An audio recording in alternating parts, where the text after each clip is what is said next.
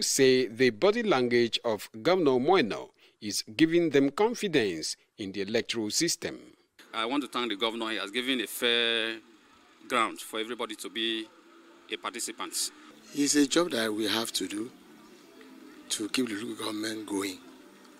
So we're quite prepared and set for the election. For the local government electoral umpire AKISIEC, the election timetable will be strictly followed to the letter. So you cannot just say tomorrow is election and you start election.